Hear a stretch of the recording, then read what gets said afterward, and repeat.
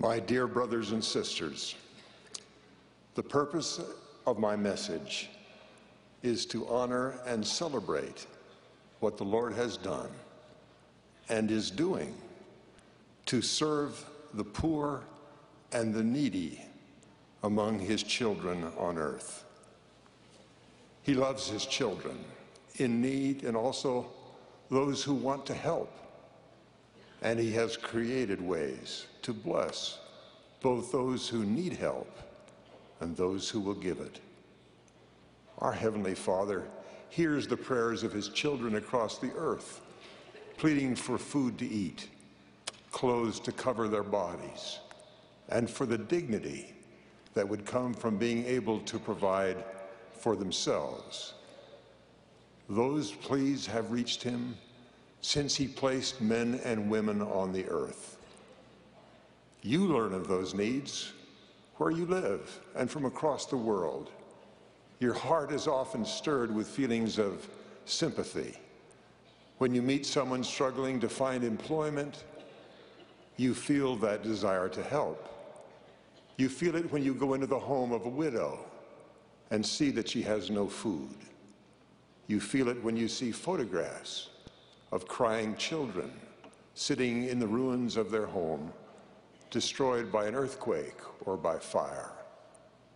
Because the Lord hears their cries and feels your deep compassion for them, He has from the beginning of time provided ways for His disciples to help. He has invited His children to consecrate their time, their means, and themselves to join with Him in serving others. His way of helping has at times been called living the law of consecration. In another period, his way was called the United Order. In our time, it is called the Church Welfare Program. The names and details of operation are changed to fit the needs and conditions of people, but always the Lord's way to help those in need in temporal need, requires people who, out of love, have consecrated themselves and what they have to God and to His Word. He has invited and commanded us to participate in His work to lift up those in need. We have a covenant to do that in the waters of baptism and in the holy temples of God. We renew the covenant on Sundays when we partake of the sacrament. My purpose today is to describe some of the opportunities he has provided for us to help others in need. I cannot speak of them all in our brief time together, but my hope is to renew and strengthen your commitment to act. There is a hymn about the Lord's invitation to this work that I have sung since I was a little boy. In my childhood, I paid more attention, attention to the happy tune than to the power of the words. I pray that you will feel the lyrics in your hearts today. Let's listen to the words again. Have I done any good in the world today? Have I helped anyone in need? Have I cheered up the sad and made someone feel glad? If not, I have failed indeed. Has anyone's burden been lighter today? Because I was willing to share, have the sick and the weary been helped on their way? When they needed my help, was I there? Then wake up and do something more than dream of your mansion above. Doing good is a pleasure, a joy beyond measure, a blessing of duty and love. The Lord regularly sends wake up calls to all of us. Sometimes it may be a sudden feeling of sympathy for someone in need. A father may have felt it when he saw a child fall and scrape a knee. A mother may have felt it when she heard the frightened cry of her child in the night. A son or a daughter may have felt sympathy for someone who seems sad or afraid at school. All of us have been touched with feelings of sympathy for others we don't even know. For instance, as you heard reports of the waves rushing across the Pacific after the earthquake in Japan, you felt concern for those who might be hurt. Feelings of sympathy came to thousands of you who learned of the flooding in Queensland, Australia. The news reports were mainly estimates of numbers of those in need, but many of you felt the pain of the people. The wake-up call was answered by 1,500 or more church member volunteers in Australia who came to help and to comfort. They turned their feelings of sympathy into a decision to act on their covenants. I have seen the blessings that come to the person in need who receives help and to the person who seizes the opportunity to give it. Wise parents see in every need of others a way to bring blessings into the lives of their sons and daughters.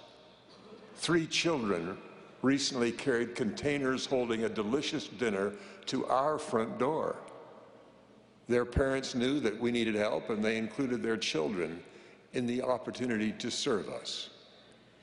The parents blessed our family by their generous service, by their choice to let their children participate in the giving. They extended blessings to their grandchildren. The smiles of the children as they left our home made me confident that that will happen. They will tell their children of the joy they felt giving kindly service for the Lord. I remember that feeling of quiet satisfaction from childhood as I pulled weeds for a neighbor at my father's invitation. Whenever I'm invited to be a giver, I remember and believe the hymn, Sweet is the work, my God, my King. I know those lyrics were written to describe the joy that comes from worshiping the Lord on the Sabbath. But those children with the food at our door were feeling on a weekday the joy of doing the Lord's work. And their parents, the father was waiting outside, by the way, so as to be invisible. They saw the opportunity to do good and spread joy over generations. The Lord's way of caring for the needy provides another opportunity for parents to bless their children. I saw it in a chapel one Sunday. A small child handed the bishop his family's donation envelope as he entered the chapel before the sacrament meeting. I knew the family and the boy. The family had just learned of someone in the ward in need. The boy's father had said something like this to the child as he placed a more generous fast offering than usual in the envelope. Quote, we fasted today and prayed for those in need. Please give this envelope to the bishop for us. I know that he will give it to help those with greater needs than ours. Instead of any hunger pains on that Sunday, the boy will remember the day with a warm glow. I could tell from his smile and the way he held the envelope so tightly that he, that he felt the great trust of his father to carry the family offering for the poor. He will remember that day when he is a deacon and perhaps forever. I saw that same happiness in the faces of people who helped for the Lord in Idaho years ago. ago. The Teton Dam burst on Saturday, June 5th, 1966. 11 people were killed. Thousands had to leave their homes in a few hours. Some homes were washed away, and hundreds of dwellings could only be made habitable through effort and means far beyond the owners.